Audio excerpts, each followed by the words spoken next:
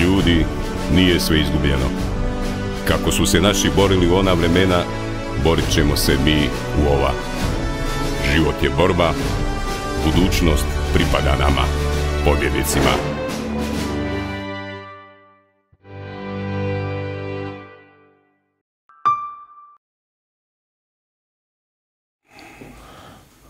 Dragi prijatelji, evo danas smo opet kao svakog tjedna sa našim profesorom Slobodanom Prosperovim Novakom. Gospodine Prosperov Novak, dobar dan, dobrodošli. Dobar dan. Evo, cijeli tjedan je toliko dinamičan koje čega je bilo. Ne znam zapravo od kuda krenuti, ali odmah sad prije početka emisije smo pričali o Miri Furlan. Evo, ajmo taj dio, to onako, na neki način to biti i uvod za ono kasnije ustavni patriotizam, što naš dragi Pupovac nam servira, ne? Evo, najprije recite, zašto je, dakle, sad je tu eto, žena je pokojna, pa se sad, ovaj, mediji se prisjećaju njenoga ovaj, glumačkog uh, rada, ostvarenja raznih i tako dalje, kao što je uobičajeno takva situacija. Međutim, cijelo vrijeme se tu sad vrti priča oko toga kako i zašto ona dobila otkaz u HNK. Pa, znate, ja bi se, kad smo počeli naravno ovom temom, ja bi se podsjetio na jednu smrt jednog mog dragog prijatelja, također velikog glumca, koji je baš sa gospođom Furlan, pokojnom, glumio u onom, onoj predstavi Šteta što je kurva, jednom od najljepših e, predstava možda Fordovoj iz, drame iz tog vremena, 80. godina, a to je e, Božidar Alić. Kad je umro Božidar Alić, onda ovi koji sada ovako glasno e, otpraćaju gospođu Miru Furlan nisu ni riječ rekli. Ponašali su se kao da nije nitko umro i kao da nije umro jedan od najvećih hrvatskih glumaca u tom trenutku živih. To je činjenica. E, ovaj put se naravno radi o velikoj glumici, to nema sada sumnje, to je glumica koja je kao mlada žena, djevojka igrala već u slavnom e, Dundumaroju u Hrvatskom narodnom kazalištu Petrunjelu, koja je kasnije igrala neke važne, važne predstave. Okolnosti njezinog otkaza, ja ne bih e, o tome govorio, poznate su. Ne? To su okolnosti nastale u trenutku kada je u Hrvatskoj doista situacija sa srpskom agresijom bila daleko, daleko stigla i bilo je nemoguće glumiti u isti čas, što je gospođa Furlan očito poželjela, i u Beogradu i u Zagrebu. Taj stupanj ovaj, antiratne kampanje nije si tada mogao priuštiti ni slavni Rade Šerbeđija koji je tada bio u Mišoj rupi i to nije bilo vrijeme za takve rekao bih egzibicije, jer to su bile egzibicije, gospođa Furlan nije iskazivala nikakav u to vrijeme politički, politički stav, pismo njezino koje je sada objavljeno više manje je jedan e, etički čin, jedan ovaj, pa emocionalni, emocionalni tekst. E, ono što se njoj dogodilo i sada se tu vrlo ružnim riječima govori e, i o čovjeku koji je potpisao njezin dekret taj da više ne radi u Hrvatskom narodnom kazalištu. Naravno da je nije bilo potrebno to. Da danas čovjek odluči vjerojatno tada nije bilo potrebno dati otkaz, moglo se nešto drugčije napraviti, poslati nekoga na godišnji odmor ili to i onda on može glumiti u Beogradu i tamo živjeti. Potpisao je to jedan veliki, također značajni hrvatski glumac koji se zvao Dragan Milivojević. Čak se vrijeđalo i njegovo ime, za kojeg je jasno da je ime nekoga koji je bio srpskog podrijetla. I Dragan Milivojević, koji je bio direktor drame u to vrijeme, jest bio srpskog porijekla, a Dragan Milivojević je jedno od one kozaračke djece koje nije spasila gospođa Dana, Dana Budisavljević, ali je on taj koji je bio jedan, jedno od spašene djece i o njegovom djetinstvu brinula se jedna velika hrvatska glumica, jedan veliki hrvatski književnik, a to je Bela Krleža i Miroslav Krleža su se brinuli o njegovom školovanju i on je postao glumac. On tada 90. i 91. godine je bio direktor drame. Danas se bacati ovaj, kamenjem na tog čovjeka je vrlo, vrlo nekorektno.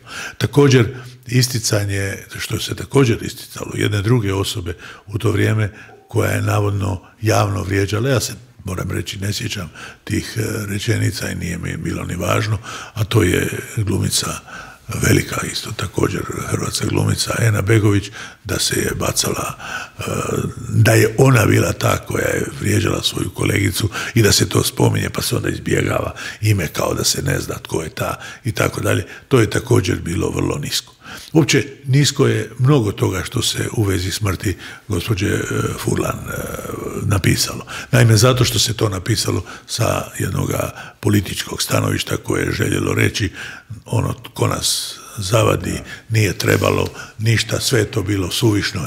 Nije bilo suvišno. Za poziciju Hrvatske države i e, situacije koja je tada nastala političke, Hrvatska, tadašnja Republika Hrvatska, nije imala izbora, ona je morala ući u taj sukob jer je taj sukob bio nametnut.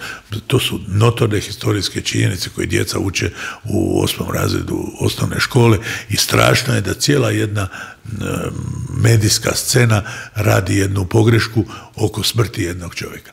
Znate, nekad se govorilo da smrt u Hrvatskoj jedina ima ukusa. Tada se mislilo na mlade ljude, logično, koji su umirali e, književnike, intelektualce, slikare, koji su umirali mladi, pa se onda govorilo li da hrvatska smrt ima ukusa, da uzima najbolje.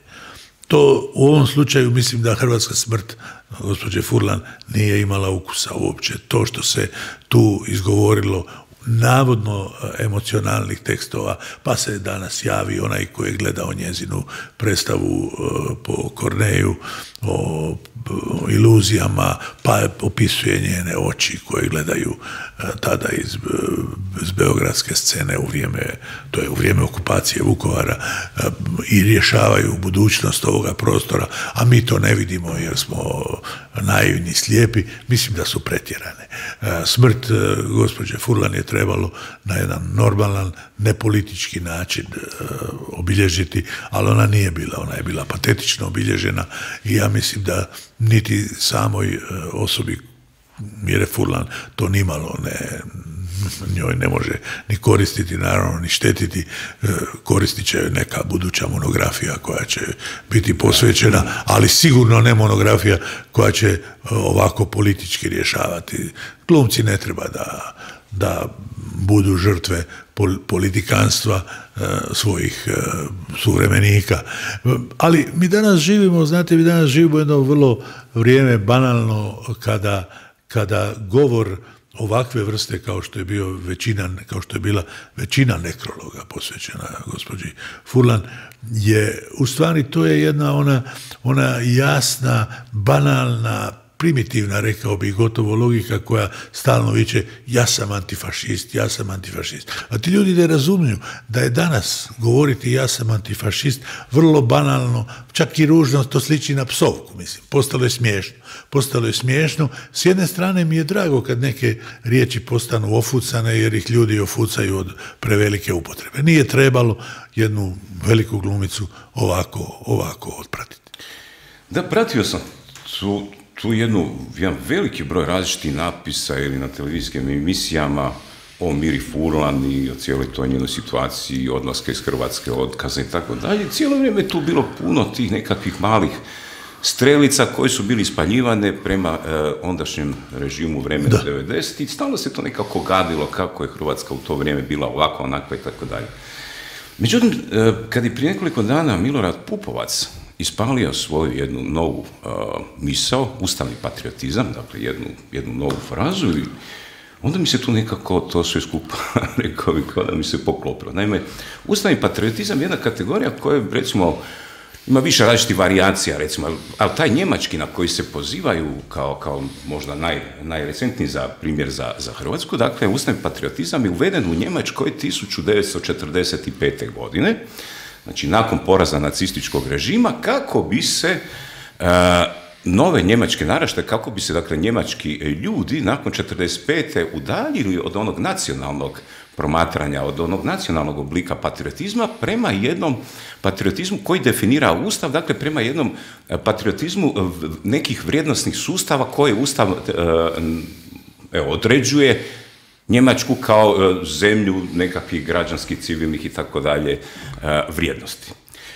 E, primjena ustavnog patriotizma u, ovom sadašnjem trenutku u Hrvatskoj kao jednu novu političku kategoriju zapravo neizravno stavlja Hrvatsku u slični kontekst, odnosno Hrvatsku iz 90. godina zapravo uspoređuje sa Njemačkom iz nacističkog razdoblja. Ne samo iz 90. nego Hrvatsku od jučer popodne uspoređuje sa Njemačkom 45. godine. Pa to je naprosto nevjerojatno, zato sam i rekao da ovi ljudi koji govore taj tekst postoje vrlo banalni. Počinju govoriti jedan tekst koji ne, ne daje oportun, nego je oportun dogadljivosti postaje oportun. Danas to reći, možete reći, pa on je podoban, vidi kako je podoban, pa njemu treba dati sve moguće funkcije, pa, pa naravno u jednom društvu koje je slinavo, pa on je idealan njegov predstavnik. To su podobnici. Dakle, gospodin Pupovac nije nikakav buntovnik kad to govori. On je netko koji spaljuje jednu rečenicu koju svaka hrvatska glumica kad je intervjuiraju pa je pitaju o njenim ulogama, onda na kraju kaže ja sam protiv antifašizma. A to je logika intelekta jedne Jelene Velja veljače. Pa to ne može biti logično da bude e, nosivi dio hrvatskog misaonoga aparata. Ta, znate, e, Matoš je recimo govorio u svoje vrijeme, kad nije bilo Hrvatske države, je govorio o Hrvatima i recimo onome što je gospodin Pupovac danas u Hrvatskoj, Srbima. Pa on je istakao recimo jednog čovjeka koji je bio njegov suvremenik, to je veliki e, prvi intendant novoga Hrvatskog narodnog kazališta, čovjek koji je sagradio onaj divni spomenik e, svojim novcima Preradoviću na Cvjetnome trgu. E, rekao je, znate, od svih tih e, Srba koje ja poznam u Hrvatskoj, najdraži mi je Miletić, zato što nikad nije rekao da je Srbin. On je uvijek rekao da je Hrvat pravoslavac. Da, dakle, tu se radi o nekoj vrlo e, jednostavnoj logici nekoga patriotizma. Meni se čini da je Matoš puno bolje razumio što je to ustavni patriotizam od gospodina Pupovca. Meni se čini da to što je Matoš govorio ustavni patriotizam, a ovo što nam pokušava sugerirati gospodin Pupovac nema veze sa nikakvim patriotizmom, nego je doista poigravanje sa ustavom jednoga naroda kojeg on želi svesti na, na ne narod ili ne znam na što, na narod koji bi morao svako jutro osjećati krivnju što uopće postoji. Da, jer ustavni patriotizam znači da se e, ta jedna lojalnost građana prema svojoj zemlji ne temelji više na, e, ljubavi prema vlastitom narodu, nego prema nekim vrijednostima koji će ustav, odnosno ta zajednica kroz ustav odrediti. Ne? E sad, Postoje još forme ustavnog patriotizma, recimo američka, švicarska, koje se primjenjuju u više nacionalnim zajednicama. Ali ako to pogledamo u kontekstu da se opet pokušava oživjeti uh, suverenost uh, srpskog naroda, kao što je bilo u socijalističkoj Republici Hrvatskoj, dakle, da se opet srpski narod digne na jednu razinu suvere, suverenog naroda u, u Republici Hrvatskoj, mi zapravo imamo dva pravca. Znači, jedan pravac je ta primjena da smo mi više nacionalna zajednica Hrvatska, a druga je Dakle, primjena ovog njemačkog modela, ok, patriotizam je bio e, upotrebljiv, imao je smisao za vrijeme domovinskog rata, ali kad je domovinski rat završio, sad se toga trebamo odrediti, udaljiti, temeljiti se na nekakvoj građanskoj Taj, taj logični gulaš neće proći, to je jedna nelogičnost, jedna totalna nelogičnost koja se ovdje plasira. A onda se naravno u cijelu ovu Pupovčevu priču pojavi onaj tip na Kninskoj tvrđavi, mislim. Onaj tip na Kninskoj, da, ali on muđe u priču, pazite, on odjednom muđe u priču, jer on je neki čovjek koji ima naraciju vrlo sličnu ovome. Ja sam, zato sam i kazao, čini mi se da se radi o jednoj vrlo prostačkoj, vrlo banalnoj logici i vrlo retorici i nečemu što doista... da, pojavi se neki humanist, nasled, nasled Kninske tvrđave, Miloš Stojković, snimi se i kaže poslije da on to to nije da je to neko drugi, da je to nešto drugo radio. Tako vidiš čovjek stoji taj isti koji je na svim fotografijama sa gospodinom predsjednikom e, Srbije Vučićem, pa je onda on humanitarac, pa on obilazi e, čak naše gradonačelnike s njima pregovara, razgovara, ja ne znam što ga oni uopće primaju, koga oni uopće primaju. Tko je taj čovjek? Ne? To je isto kao kad onaj koji kleknuo u Vukovaru, onda čovjek pita, a tko je taj, mislim? Pa ne može kleknuti bilo ko, može Brant, ali ne može može bilo tko. Tako se isto može po Kninskoj tvrđavi penjati svaka budala. Ovo je jedna od budala koja se penjala po Kninskoj tvrđavi, ali netko je to trebao reći. Kod nas se, ja sam deset puta čuo da je on humanitarac. On nije nikakav humanitarac, on je jedan idiot budala protiv kojega treba provesti njegova država određene mjere, mislim. A to što je hrvatska diplomacija reagirala na to, Mislim, mene je, moram reći, ostavilo vrlo hladnim, zato što ta ista diplomacija nije nikad reagirala kad neki sveučilišni profesor objavi povijest e, ovaj, Dubrovačke književnosti koja se zove Srpska, tu nikad niko nije reagirao. Sad dođe jedan idiot na Krinsku tvrđavu, govori tekst potpuno suludo o, o ovaj, tome kako će se on tu vratiti, valjda sa nekom vojskom. I tad se javlja naša diplomacija i ulaže notu zbog jednoga čovjeka koji bi trebao biti zatvoren u ludnici. Jer on govori tekst, kao što rekao malo prije, koju djeca u osmom razredu osnovne škole usvajaju kao potpuno normalni, ovaj, dakle, protiv tog teksta koje djeca u Hrvatskoj znaju u osnovnoj školi. Ne? Ili on to ne zna, ili ja ne znam da li netko u Srbiji zna da to i djeca u osnovnoj školi uče, da je to potpuno normalna stvar. Pa gledajte, taj, taj, taj, taj, taj, ta kninska tvrđava se nalazi pa do sto, koliko će biti nešto više kilometara od Rižinica e, ispod Klisa, gdje je Gottschalk, veliki e, filozof srednjevjekovni, podsjetio kneza Trpimira, iza kojega je rekao Dux Croatorum. Ovaj čovjek stoji na Kninskoj tvrđavi i govori ovo je Srbija. Naprosto absurdno, nenormalno. A kažem, južno, to jest istočno od Knina, još 150 km, u, u devetom stoljeću jedan evropljanin kaže da je vidio Dux Croatorum, da je vidio Trpimir. Ovo je ovdje priča neke gluposti. I, i, i taj Stojković je sad u Srbiji heroj, ne? Da, pa dobro, mislim, to je e. naprosto strašno, ne. Točno, da, to onda se... To je još strašnije. Još, jednu, još jednu dubinsku analizu cijelo to, za, kako je to moguće, kako je to onda okruženje gdje je takva osoba postoji. Međutim, tu je sada jedna, otvara se jedan fenomen, to su šah zove tko igra sa bijelim figurama, ne? Znači, mi sad imamo tu situaciju, dođe takav jedan provokator, izvede taj jedan performans na Kninskoj tvrđavi, snimi se i tako dalje, to preko interneta se raširi, ne? I onda se događa upravo ovo Hrvatska reagira, ne? Dakle, crne figure. I sad imamo tog našeg gradonačelnika koji Marko Jelić, koji sad piše, srami se, ovaj, vi ne znate da tvrđava simbolizira sveto slovo Hrvatsko, to je sveta hrvatska zastava, država, znate, to je bez veze, jer ovi se smiju, ne, ovi Srbi se smiju kako u Hrvatskoj reagiraju na takve stvari, ne, i onda još doda bisere taj gradonačelnik Knina i kaže, ovaj, brojni velikani srpskog roda Hrvatske nove su bili, sad nabraja, feldmaršal Svetozar Borojević, dakle čovjek koji sam sebe proglašavao Hrvatom, dakle to za Nikolu Teslu opet su tu isto cijeli niz različitih kontroverzi, kako se on jer u ono vrijeme, u ono vrijeme dakle su, su svi se, dakle, u to vrijeme Austro-Ugarske polovine 19. stoljeća, svi su bili ono, Hrvati, srpske, ovaj, pravoslavne vjeroispovesti i tako dalje, ne. Tu navodi još neke književnike, evo ja za to ne znam, Vojin Jelić. Vojin Jelić je književnik koji je pri kraju života napisao jedan eh, obračun koji je vezan baš sa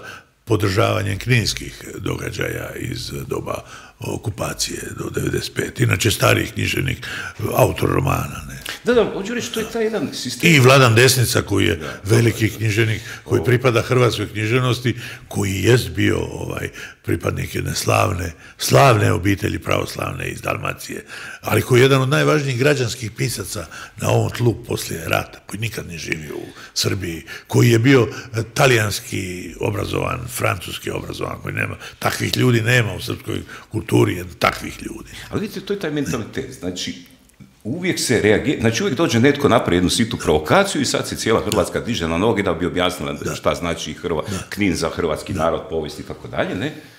Što, što u Srbiji zapravo uopće ne zanima i to, da, jer suludo je očekivati da će oni na jednu takvu racionalnu Da, ali mi se opet pravdamo. Ovaj, da, opet se mi pravdamo, se pravdamo kako, kako to da, da taj to kaže, pa daj da sad opravdamo što je taj, ja sam rekao, mislim, čovjek je doslovno idiot, mislim, i treba ga kao takvoga tretirati. Ako je neko idiot, onda s njime ne može država na razini ministarstva inozemnih poslova, gradonačelnika, uopće razgovarati. E, ali onda kad se idemo pravdat, onda se još pravdamo zabijajući si autogolove, poput ovo Svetozar.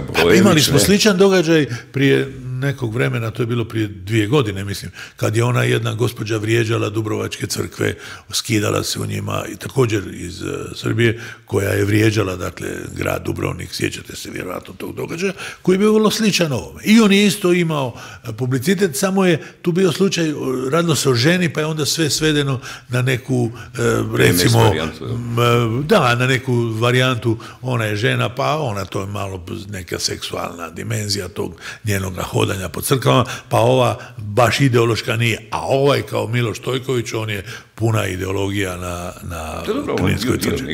A to je još To strašnije. je, to je problem. To je strašnije, On je dobio tu jednu formu, ne? Da. Ali onda za- zanimljivo da se, kad se, eto, ta hrvatska strana ide vaditi od svega toga, vadi se zabijajući se autogolova. strašno. Evo, recentni primjere, neki dan HRT emitirao onaj film e, Dnevnik Dijane Budisavljević. ne? Eto, to je sad bio pokušaj od strane Havca financiran da se malo relativizira slika oko, oko ovaj, situaciju u logoru Jasenovac. Tamo nitko nije, nisu stvari ono baš prikazane na način kako to srpska, velikosrpska ovaj, propaganda prikazuje, ali prikazano opet na način da ono temeljito prvo iskrivljuje činjenice, a drugo opet kompromitira Pa Hrvatsku. gledajte, e, kad se već prikazuje film od Jani Budisavljević, kad se uopće govori o tom filmu, onda ova zemlja bi morala znati jednu činjenicu da postoji studija profesora doktora Nikice Barića, značajnog hrvatskog historičara. Dakle, on nije nikakav e, sad u, u, u- ovaj outsider u hrvatskoj povijesti koji se sad odlučio amaterski baviti tim temama. Ne, on je napisao ozbiljnu studiju o sustavu koji se dogodio oko operacija na Kozari.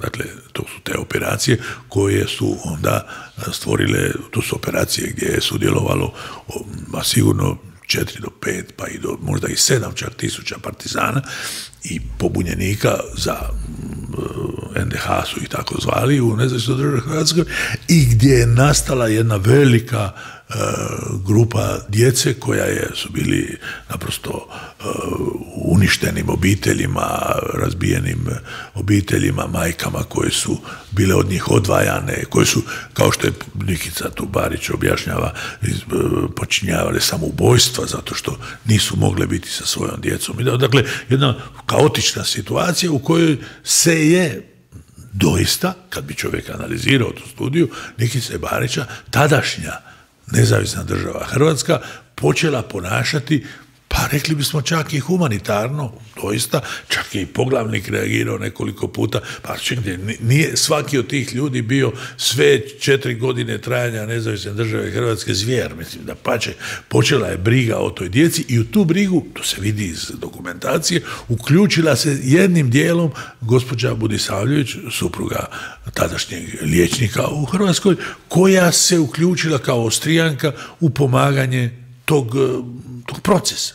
I ona je dio tog procesa. U ovom filmu, naravno, ona je prikazana ne kao dio tog procesa, nego kao jedina koja drži lekcije danas Stepincu, sutra e, vlastima u nezavisnoj državi Hrvatskoj, svakome u stvari ko se tu pojavi. To je naravno neistinito i mnoge stvari u tom filmu nisu istinite, ali su smišljene naravno opet zbog ideoloških razloga. Sigurno taj film nije tako negativan kao ovaj e, koji se zove Dara iz Jasenovca, na koji reagira ovaj, već, već sada reagira čak i inozemna javnost i to se ne može reći da baš u, u, u časopisu e, takve vrste kao što je Variety, to je jedan poznati časopis e, koji recenzira filmove, da baš u tom časopisu piše nekakav ovaj e, zamaskirani Hrvat, doista su ljudi vidjeli da se jedna, jedna stvar jednoga logora ovaj, za vrijeme drugog svjetskog rata koristi da bi se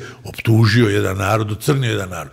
Znate, nakon drugog svjetskog rata puno se pisalo i godinama i desetljećima o logorima na teritoriju e, nacističke Njemačke, ali nitko zbog tih logora nije okrivljivao njemački narod u cjelini, vri, vrijeđao njegove filozofe, njegove književnike, njegove ljude u ostalom, nego je obrnuto govorilo se o toj e, jednoj gotovo abstraktnoj pojavi koja je bila strašna, koja je neponovljiva u ljudskoj povijesti, ali nikada nitko nije jedan narod dovodio u poziciju da ga optužuje, da ga ponižava, da ga vrijeđa, da traži od njega svakodnevne isprike, da taj narod mora se ponižavati. Evo danas, 75 godina nakon završetka ovaj, drugog svjetskog rata, onda se isto traži da se ispričavamo dnevno gospodinu Krausu. Pa nemamo se mi ništa, ova, ova, ja, šta da se ja ispričam gospodinu Krausu?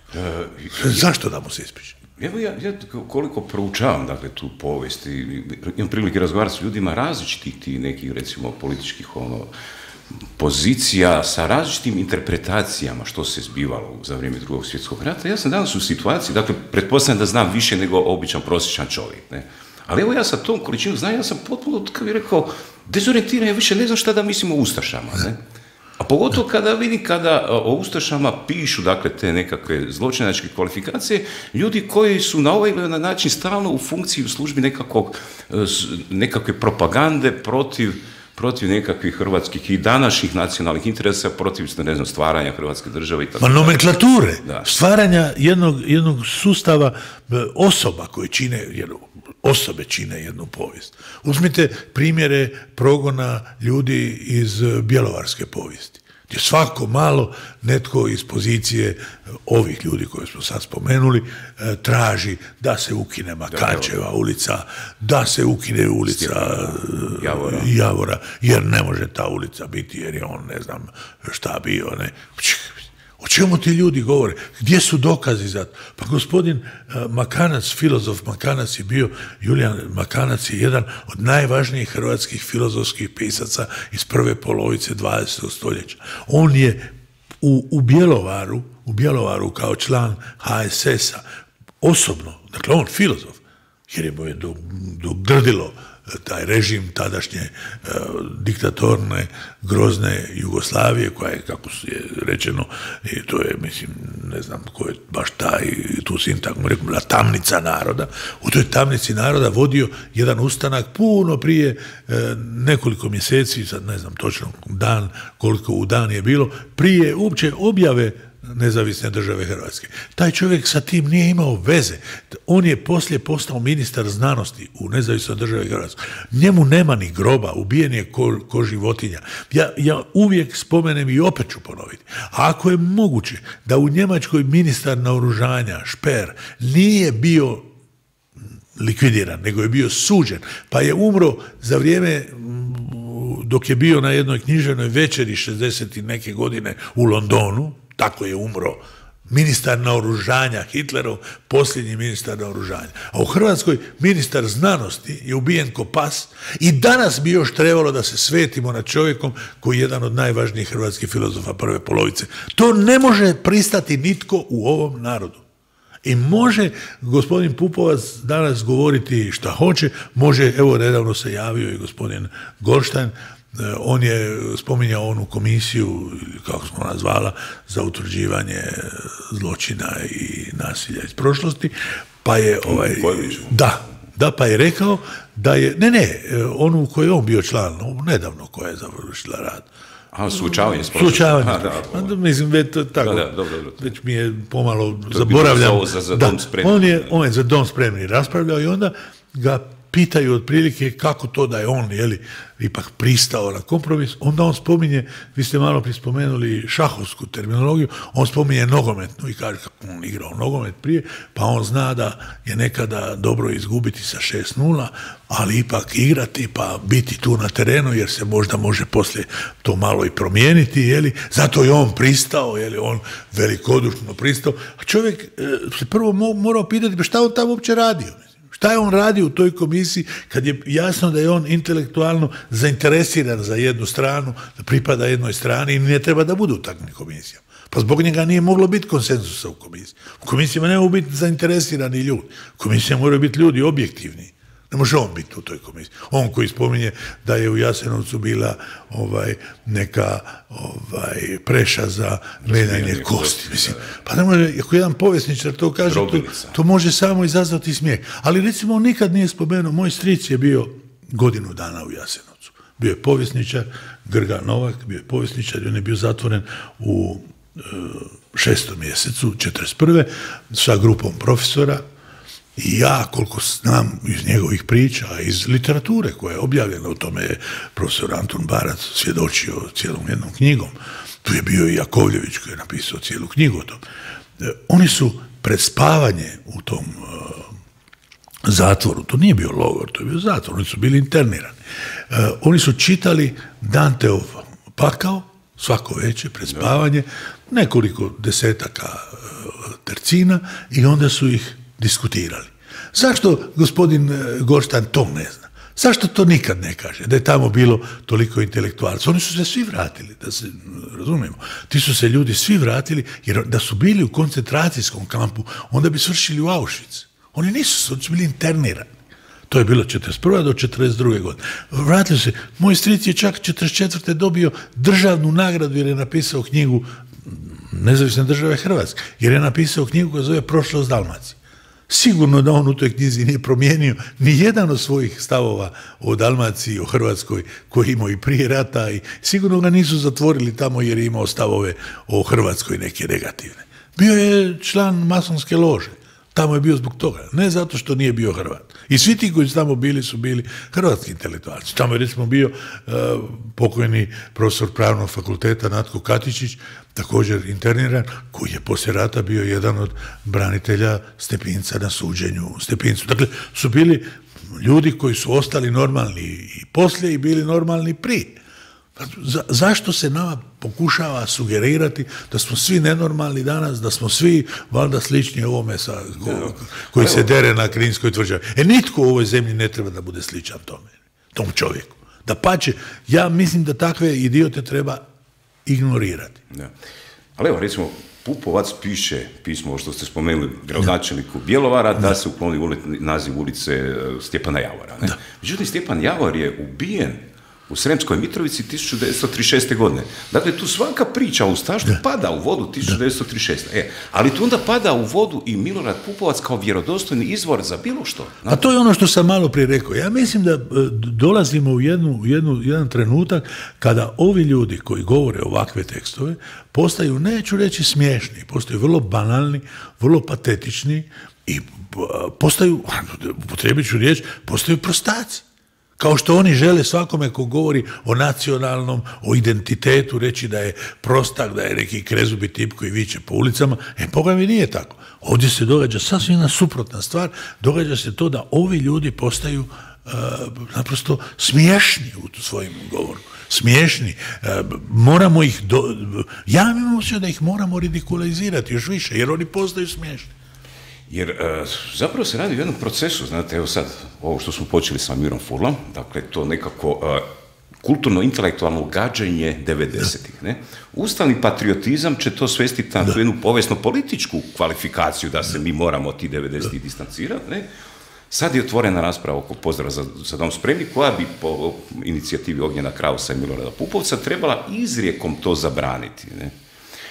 E, Što se tu postoje pitanje, dakle, malo čas smo evo sad govorili o vjerodostojnosti Milorada Pupovca, ali kakva je vjerodostojnost Ognjena Krausa, znate, kad je on osudio, dakle, Dobro, totalitarizme kao, Ma znate, kao, kao jednu pojavu, ne?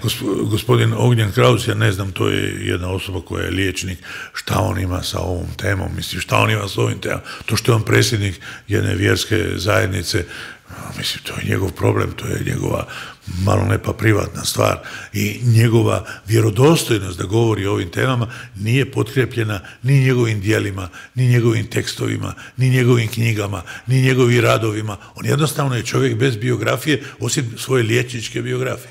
Ono što mu je nedavno njegov kolega, gospodin Vrkljan, saborski zastupnik, pisao pismo, to svi oni mogu pisati pismo, oni su kolege, pa nek si pišu. Ali mislim, ne, ne, prelazi iz bolnice u kojoj je radio njegov društveni značaj da bi me sada on prisiljavao da se ja u ime nekog naroda kojem pripada morao nekom ispričavati. Kome? Njemu. Da se ja ispričam njemu. Zašto? Zašto da se ispriča gospodinu Ognjenu Krausu? Mome vjerojatno vršnjaku. Nemam se zbilja za što ispričati. A nemam ni osjećati nekakvu razlog da mu donosim dokaze. Dokaze za što? Njemu.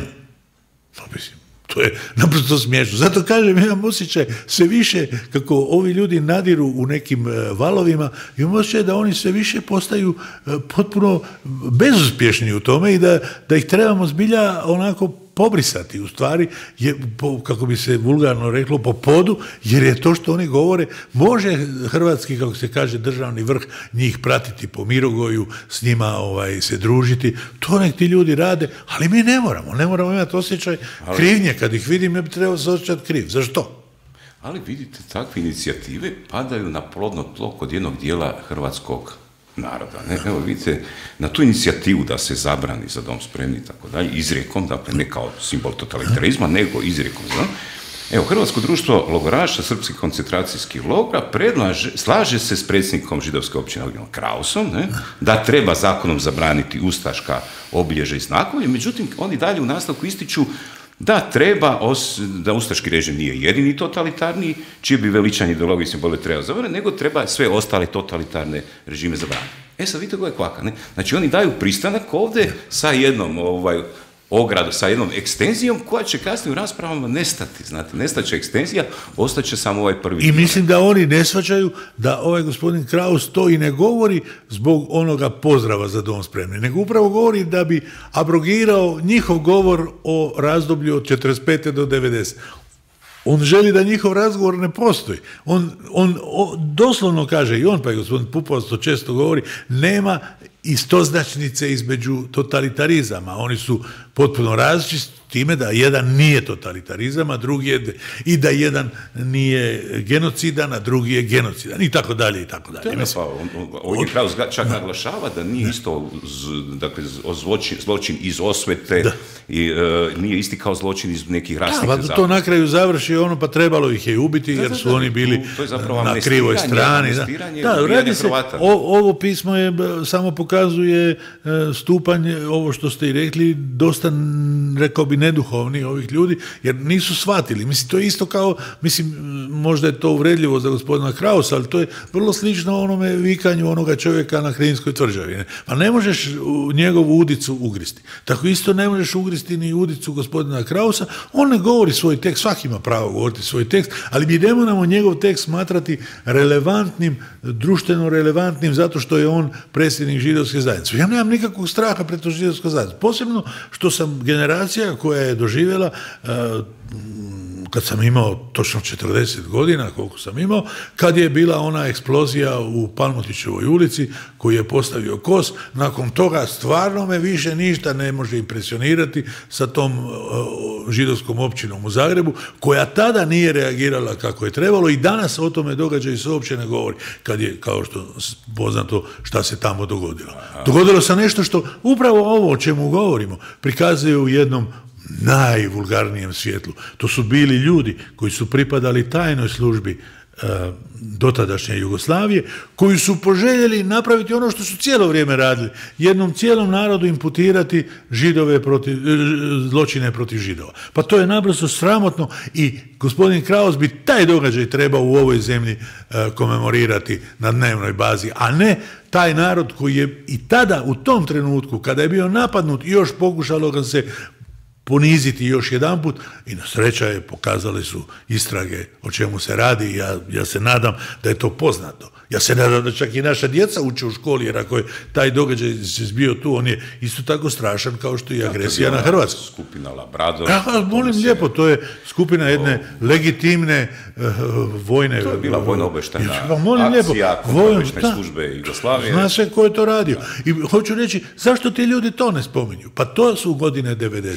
E, ali umjesto da to spomenu, u to vrijeme kad se to dogodilo, Slavko Golštajn kao jedan od istaknutih pripadnika židovske zajednice, barem se tako on sam sebe prikazivao, i u tom trenutku izjavljivao kako je bio razočaran činjenicom da hrvatski narod u trenutku kad se dogodila ta eksplozija nije u velikom masovnom broju izišao na ulice grada Zagreba i protestirao protiv takvog jednog... Protiv koga? Da.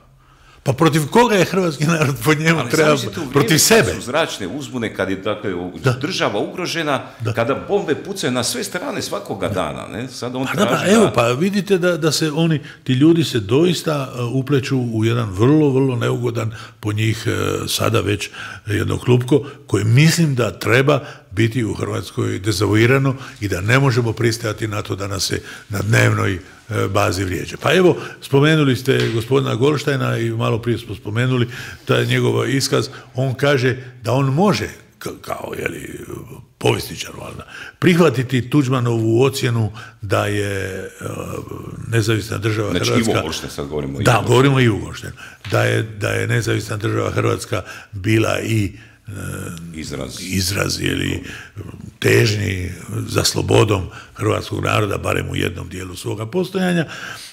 To bi on, kaže, mogao prihvatiti, Pa što je logično, nema on šta to prihvatiti, to je historijska činjenica i nije Franjo Tuđman bio baš ovaj takav neuk ali, ali, vidite, tu je jedna zanimljiva detalj, pa nastavite, ne? Dakle, ako on to prihvaća, onda to je historijska činjenica, a ako on to ne prihvaća, onda, onda to nije. Dakle, da. ovaj jedan logičan... Ali dobro, on je prihvatio. Sad bismo mi trebali biti sretni što je on prihvatio nešto što je historijska činjenica i onda kaže, ali zašto nije dodao, kaže Franjo Tuđman je trebao dodati da je u Hrvatskoj bilo posebno u drugom dijelu rata nakon 43. značajan broj partizanskih jedinica. To on kaže da Franjo Tuđman nije rekao. Pazite, da Franjo Tuđman, koji je bio hrvatski partizan, koji je dočekao završetak drugog svjetskog rata, ne znam u kojem činu, vjerojatno kapetana ili ne znam šta je već bio, koji je bio borac u tom ratu, dakle antifašistički borac, on to nije rekao. Pa šta je imao reći? Pa njegov život je to rekao. I on sad kaže danas, danas kaže 2021. godine da je onaj prvi dio dobar, ali da drugi mu fali. Sad mu fali drugi dio. Pa cijela, cijela djelatnost Franje Tuđmana u 90. godina upravo bila usmjerena na tome da se Avnojevska ili ta Zavnohovska tradicija nastavi, spomene. I sad ovaj kaže da, da mu to nedostaje. Pa gdje mu to nedostaje? Ali dobro da je rekao da mu je onaj prvi dio dobar, sad bismo trebali početi u školske udžbenike valjda stavljati ovaj prvi dio, ne znam šta bi on, onda rekao. Učiti neizgovorene rečenice Franje Tuđmana. Da, nevjerojatno, nevjerojatno. E sad, ali tu je zanimljiv jedan dio, vidite ono što smo ranije spomenuli od Mire Furlan, preko to ustavnog patriotizma, preko ovih inicijativa Ognjena Krausa za dom spremni, dakle događaju se neki procesi, ne procesi i redefiniranja našeg povijesnog pamćenja, činjeničnog nekakvog memorije koju imamo onome što se događa 90 ali događa se dakle tu jedan, jedan proces nečega, ne znam je li to kao nekako opet se e, Srbima u Hrvatskoj počinje davati neka jedna uloga koju su imali do 90. Ne. E, prije dosta godina sam razgovarao više puta sa jednim e, hrvatskim partizanom Zvonko Ivanković Vonta. Da. bio je to ugledan član Otac novinara, da, novinara sudac je bio tako dalje. Ne. E, vodio sam s njime dosta razgovora i on mi je pričao mi je kako su 1945. E, godine u tadašnjoj e, partizanskom pokretu u Jugoslavenskoj armiji vojsci tadašnjoj najveći udio je bio, su imali Hrvati, dakle u tom vojničkom dijelu, u časničkom kadru da je bilo najviše Hrvata i u strukturama partij, saveza partijskih komunističkih ovaj, struktura, republički savez. Ne. I on se ga pitao, dobro, gospodin Vonta, što se to dogodilo, ako ste imali većinu 45. Što se to dogodilo da je Hrvatska već nakon 20 godina ušla u jednu podređenu poziciju, ulogu unutar te jugoslavenske zajednice? Ne? što je kasnije rezultiralo i domovinski rat.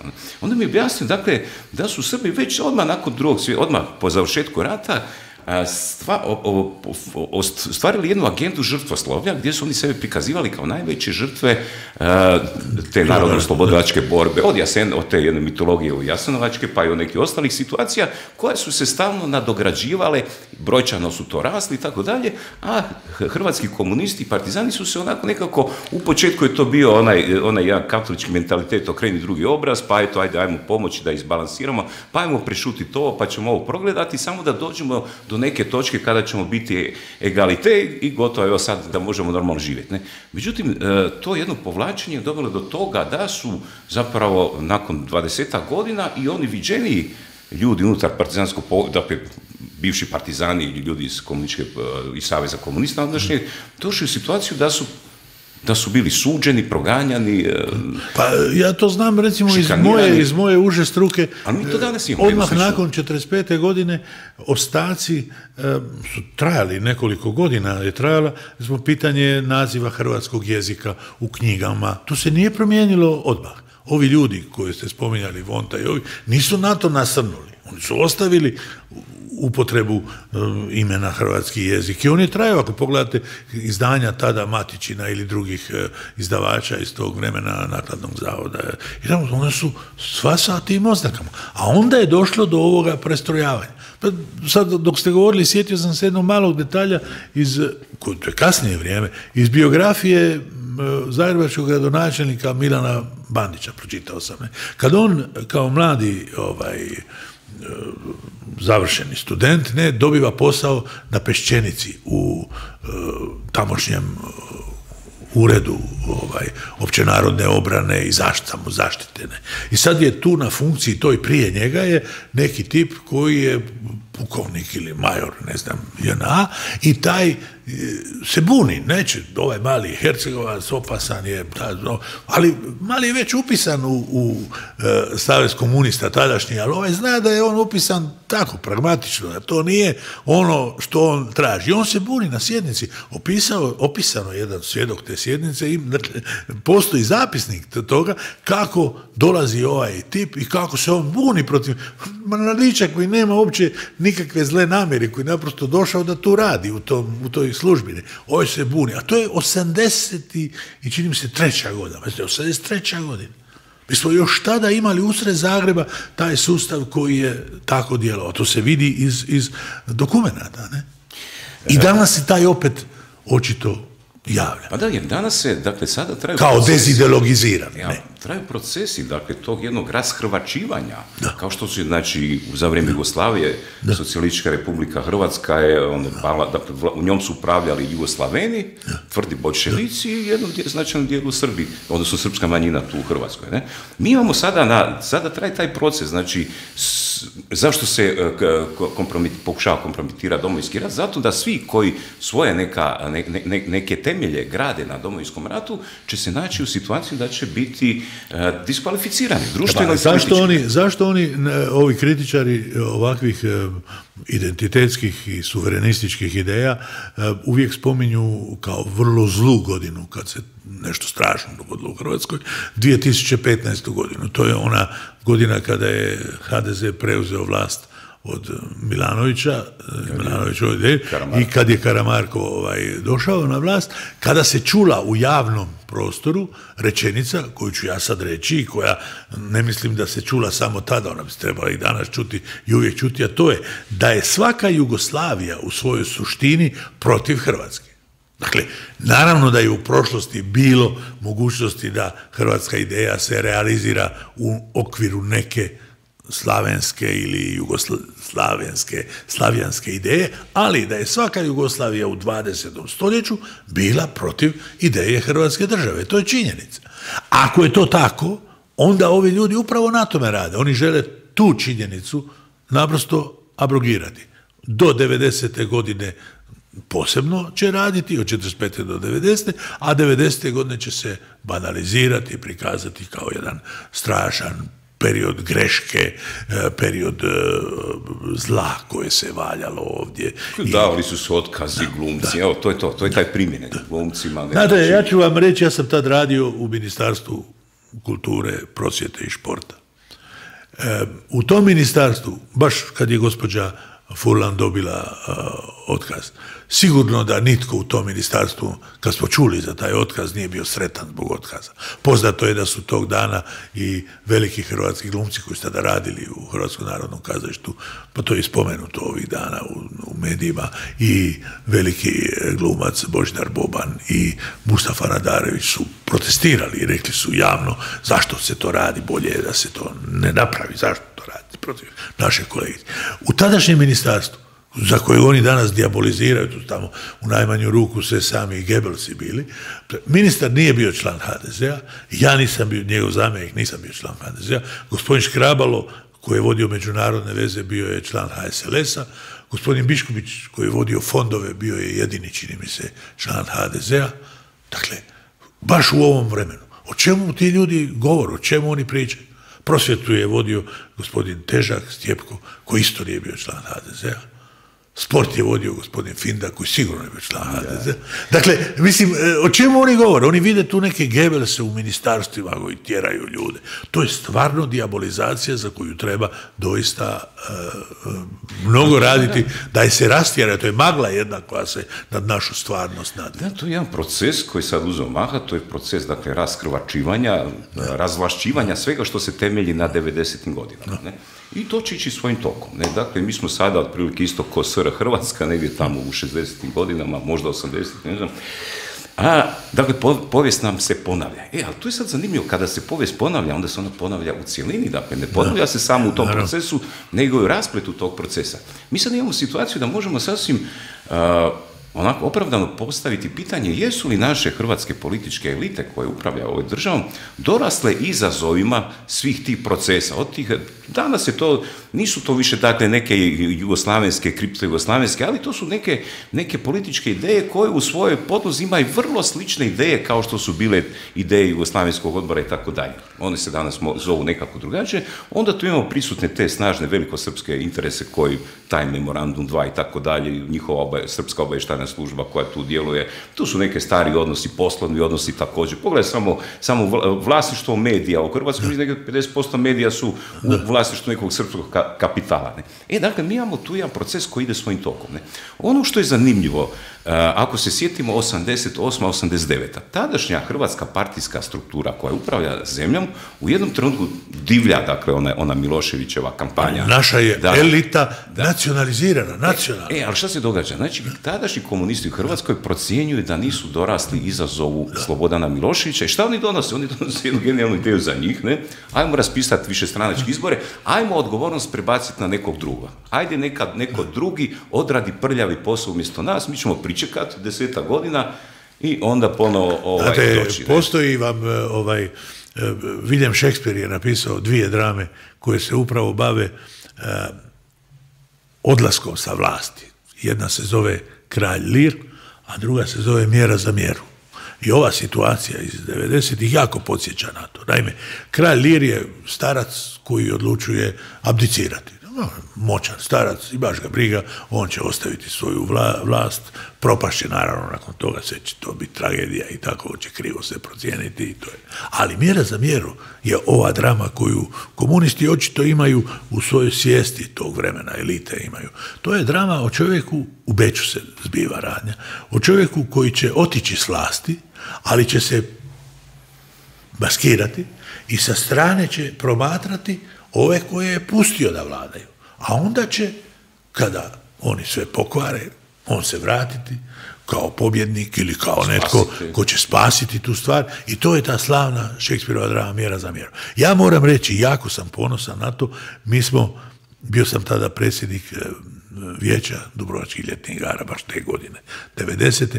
Mi smo upravo 90. stavili na e, scenu Dubrovnik Kunčević je režirao dramu Mjera za mjeru, jer smo procijenili na neki način intelektualno da upravo ovo što nam se zbiva je nosi u sebi opasnost da se ovi koji su se sada makli, da se jedan navrate i kažu Euras, tu smo. I da kažu ovo je sve bila jedna šala, jedna glupa šala, jedan glupi san, a sad ćemo mi iz početka. To iz početka više neće proći, ali pitanje je ono što ste rekli, da li današnje hrvatske elite političke imaju snage da taj proces zaustave. Ili jednostavno će ih voda odnijeti sa tim procesom. Da, kadrovski, intelektualno i iskustveno, dakle sve te političke e, skupine koje su se vezali uz jugoslavenske ili prosrpske ideje imaju dugu tradiciju. to, to, su, to, to je jedno znanje koje se već tu jugoslavenske barem stotinja godina, ove velikosrpske možda i 200 godina, dakle to je jedna onako vještina, e, vještina političkog upravljanja, manipuliranja, vladanja. Ovi neke hrvatske političke elite ipak imaju, evo, možda nekakvi 10, 20, 30 godina nekakvog iskustva, tek je možda drugi naraštaj taj, tek sad stasa. Dakle, to je isto kao u bilo kojem drugom poslu, ne tako treba. Znate, ako vi imate tradiciju obrta nekog 20 godina, onaj neko ima 200, bit, će, bit ćete Znate, ja ću reći primjer, kad dođete u grad Beč, onda će vam svi Srbi s ponosom pokazati kuću u kojoj je tamo živio e, sredinom 19. stoljeća Vuk Karadžić. Meni je uvijek bilo žao što nisam nikada mogao pokazati kuću u kojoj je živio Ivan Mažuranić, jer je nema. A Ivan Mažuranić je bio predstavnik, službeni predstavnik kraljevine tadašnja naše kakva je bila i tih naših e, zemalja, ne, bio je predstavnik u Beću. Vuk Karadžić, kao što je poznato, nije bio ničiji predstavnik, bio je naprosto tako, špijun za ove, špijun za one i dobar lingvist. I taj Vuk Karadžić je s ulice nagovorio ove naše nevježe da 1850. potpišu onaj bečki dogovor o jeziku, koji nam se danas vraća ne kao dogovor o jeziku, nego dogovor o svemu ovome što imamo. A kažem, Mažuranićeve kuće nema, ni stana gdje je živio, To je bio neki stančić, siromašni, znamo vi da se žena punila, da loše žive.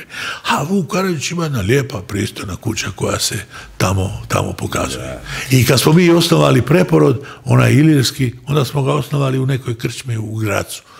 U Gracu malom jednom provincijskom penzionerskom gradu ovaj, austrijskom, nismo išli do Beća. I to se stalno vraća s tim iskustvom. Ali sada je to ipak 30 godina ovog iskustva bi moralo, ovog iskustva, mislim, jedne suverene eh, demokratske države, moralo bi ipak biti sposobno da može potpuno ukinuti razgovor o toj nekoj strašnoj genocidnosti, zločinačkoj prirodi hrvatskog naroda, o njenom, e, njenoj sreći koja je živjela 45 godina u komunizmu i dodirnula evropske standarde, tada naravno u komunizmu, to je doista svjetski fenomen da netko te standarde dodirnuo u komunizmu i onda je li te užasne, užasnog desetljeća prepunog pogrešaka, sramota koje su tu počinjene, je li, i sada dolazi vrijeme da onaj što sam malo prije spomenuo, e, knez iz, e, iz drame Mjera za mjeru, nam svima uzme mjeru i jednostavno kaže,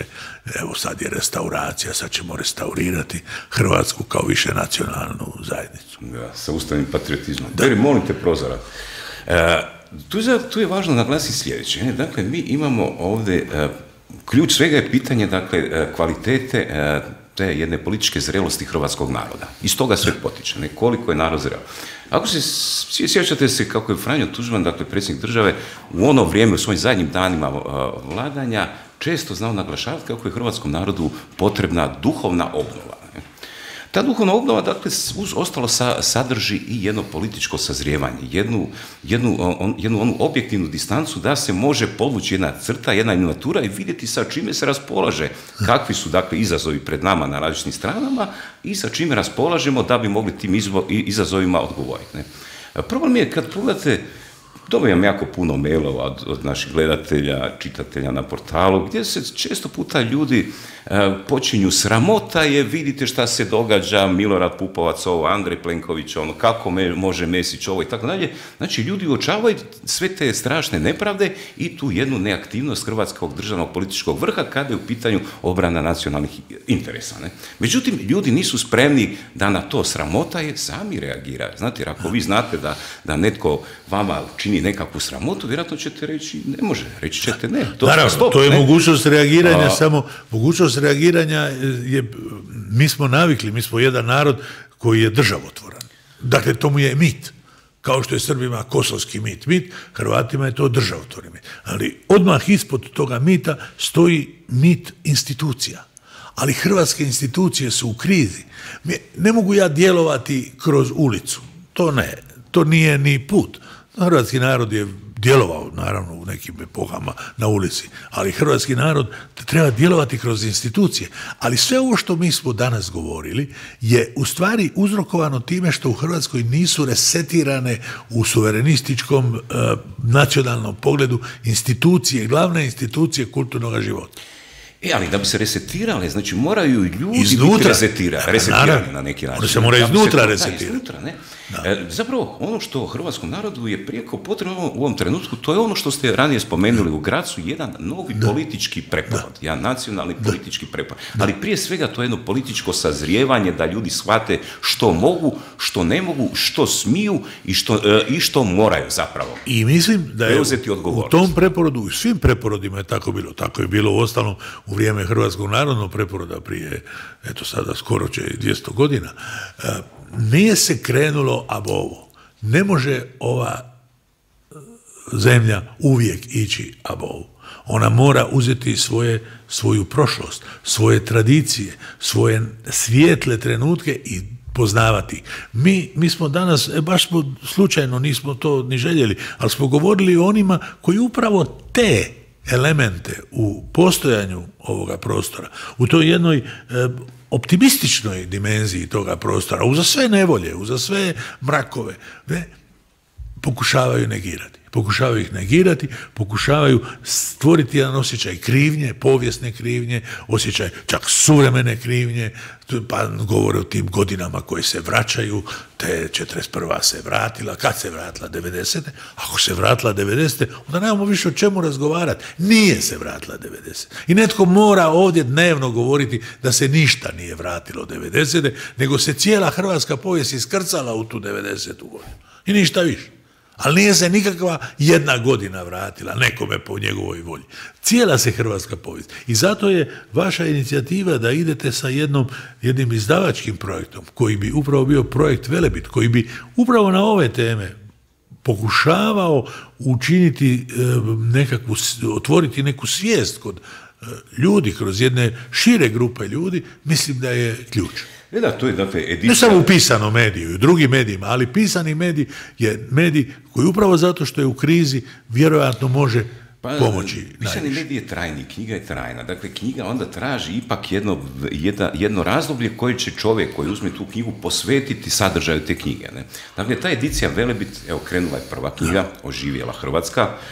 Uh, tiskara je zavrtila, ovaj, znači za nekakvih desetak dana ćemo imati taj primjer. Međutim, ono što je važno, dakle, tu ćemo nekako prikazati ljudima kako je hrvatska povijest, e, dakle, ne samo, e, ne samo ono s, toliko nevjerojatno prožeta sa hrvatskom sadašnjošću. Dakle, sve je isto kada, kada se usporedi sa onim što je nekad bilo prije par sto godina, što u ovom prvom, e, prvom, prvoj knjizi obražujemo, nego su, dakle, ne, nego, nego to što se nalazi kada se čita ta povijest može poslužiti kao jedan politički kompas. I to je onda jako važno da ljudima na neki način to pokažemo, da podignemo tu razinu političke svijesti. Dakle, mi ćemo kada tu knjigu pokažemo, ponudimo je ljudima, budemo im, budemo ih zapravo vodili kroz čitanje, pa ćemo im na neki način pokazati na koji način čitati, razumijevati ono što piše u tekstu i kako to zapravo primijeniti u nekim svakodnevnim političkim životnim situacijama, odnosno izazovima s kojima se običan čovjek politički u Hrvatskoj nalazi, a nadam se da će to i neki od vladajućih htjeti čuti. Zašto? Zato što nas zanima nas prije svega umjeće pamćenja. Jer nekada je postojala znanost o pamćenju. Znanost, ljudi su, dakle, bavili se pamćenjem, pokušajem. Bio je jedan Hrvat, i o njemu ćemo objaviti u jednoj od ovih knjiga, zvao se Giulio Camilo. Julio, dakle Julije. Bio je bosanski izbjeglica iz Duvna, pa je dodao u svoje ime Delminio, dakle Julije Camilo Delminio. Živio je u Friulima, dakle u ovoj, ovom dijelu Italije, najbližem našim granicama. Bavio se upravo umjećem pamćenja. I on je napravio od drva, od drva, jedan teatar, zvao ga je teatrino, ne, koji je bio velik otprilike toliko da bismo nas dvojica mogli sjesti u njega i okolo je bilo oko okruglo drvo. Sličio je doslovno na jedan starinski teatar. A što je on napravio? On je u taj teatar uveo oko šest milijuna listića na razna mjesta. Toliko ih je ispisivao da mu je jezik već kao Svetome Ivanu Zlatoustome već ovaj, visio vjerojatno i nije mogao ni govoriti jer je toliko pisao. A kad se puno piše ne može se ni govoriti. E, I onda je stvorio jedan sustav imitacije ljudskog mozga u tom teatrinu Poznato je, postoje svjedoci koji su to vidjeli, on je, poslije njegove smrti je ta knjiga objavljena 1548. u 16. I on je napravio nešto što je danas kao Google. Vi ste sa šest, sedam natuknica koje ste uzeli mogli o svim temama ljudske povijesti do tog trenutka govoriti kao da ste Aristotel. Taj čovjek, jedan je od najcitiranijih ljudi u današnjici Hrvatskoj, u znanosti. Ima više citata nego uh, profesor Pavuna, vjerojatno. Zašto? Jer ga se smatra utemeljiteljem google utemeljiteljem informacijskog doba. Upravo toga Đulija Kamila. Nažalost, njegov teatar je izgubljen, taj teatrino je izgubljen jer se možda zapalio, ne znamo dalje o tome, on se bavio i alkemijom, taj čovjek, e, kažem, radi se o vrlo slavnom čovjeku. Zanimljivo je da se o njemu kod nas zna minimalno. Pa, u, hrvatskom biografskom leksikonu, dakle jednoj ključnoj ediciji, ima jedan mala natuknica o njemu, ali autori pišu da je on napisao tu knjigu u kojoj to oni ne znaju što u njoj piše, ali jedino što oni raspravljaju u tom članku jest, i to je hrvatska tragedija, je li on rođen u Livnu ili Duvnu. A hrvatski problem je dakle Livno Duvno. A neću dalje, znate što je između Livna i Duvna, to je iz one ružne ovaj, poštapalice. U svakom slučaju to je to. Mi moramo osvijestiti naš povijest. Ali kao i ovaj čovjek baviti se pamćenjem, umijećem pamćenja. Pamtiti sebe samoga. Evo, puno puta smo vodili razgovore na ovu temu, dakle, izvan ovih naših e, formalnih formalnih ovaj, podcasta, razgovora za, za podcast. Dakle, ono, ono oko čega smo, oko čega, evo, smo došli do nekih zaključaka, dakle, Hrvatskoj treba, treba jedna promjena. Skrenuti jednu političku inicijativu stvaranje neke stranke to je vrlo kompliciran posao, vrlo zahtjevan i sa vrlo upitnim rezultatom. Ko što se zapravo i vidi. Ne?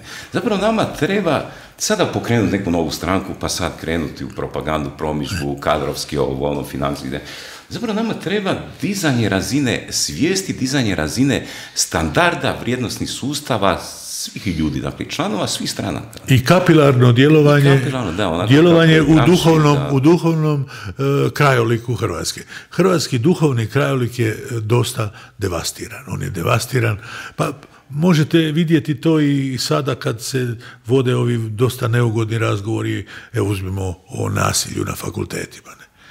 Ne? Bez ikakvog dokaza još nije objavljen ni jedan pravi dokaz, jer govori se o tome tako da čovjek može, ja sam neki dan slučajno nešto morao dati osobnu iskaznicu, pa se vidjelo tamo po jednom drugom dokumentu da radim na Akademiji dramske umjetnosti, pa je odmah ovaj osoba koja je bila na šalteru me pogledala sa jednim pogledom kao da sam u najmanju ruku silovao osporo studenata, da po ulici silujem pse i tako dalje.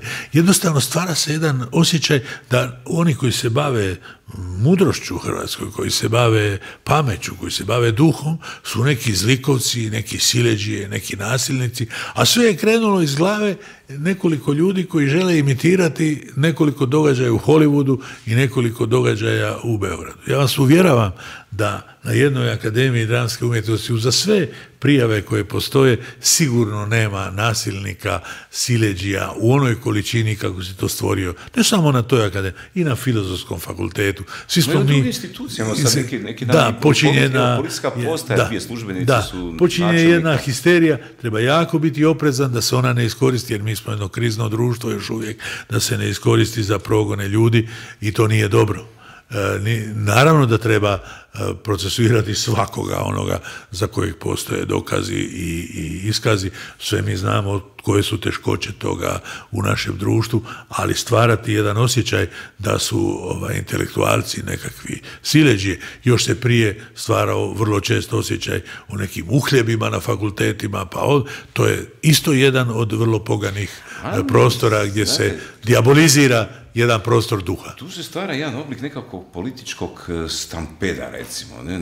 Neki dan kad je bila ova situacija sa obilježavanjem obljetnice vojno-redarstvene akcije Maslenica, pa su navečer na televiziji, mislim, emisija otvoreno, diskutirali oko pojave tih pripadnika HOS-a u majicama sa zadom spremni. Tada se u, u emisiji, u razgovoru se govorilo da treba zapravo sankcionirati njih kao nekakve provokatore, kršitelje zakona i tako dalje. I Peđa Grbin je argumentira, objašnjavajući to, e, izgovorio jednu, jednu vrlo opasnu rečenicu. On je rekao, država e, ne smije biti tolerantna prema netolerantnima. Znate? Ljudi su obukli, čak su ljudi obukli majice po velikoj hladnoći. Mislim, ja sam se brinuo da se oni ne prehlade. Znači, netolerantni su neki i prema njima treba primijeniti drugačija e, normativna pravila društvena, odnosno zakone. Ne? A tko će određivati tko je, tko je drugačiji, tko je netolerantan? Ne? Mislim, šta su uzeli su majicu iz ormara i obukli? Ali tu se uvodi se kategorija neke, neke, kako bi rekao, inkriminirane društvene skupine. Svaki, svaki znak u društvu, svako ponašanje ima svoj kontekst i ovi ljudi su malo pretjerali.